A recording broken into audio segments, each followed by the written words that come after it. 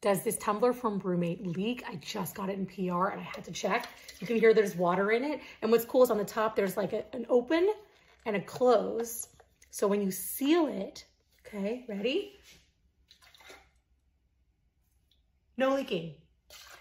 With the straw, like no leaking. So cool. I was about to leave to go to Trader Joe's and uh, I will definitely make a video from there for you guys.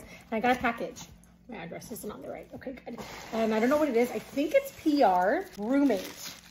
I don't, I don't know what that is. Is it a water bottle?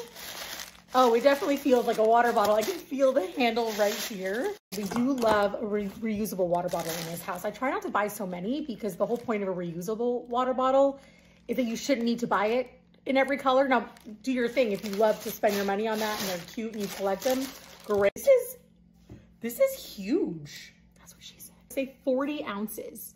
40 ounces of water. So I'm not one of these people that gets like a million boxes of a PR at a time. You know, you see like a million boxes behind them or when they go on vacation, they come back to a million boxes. That's not my life right now. Wouldn't say no, especially to more like skincare and makeup PR, but also anything like kitchen, food related, drink related. I'm a big water drinker. So I don't like save them up to do a million unboxings at a time when things come in. I just get so excited about it.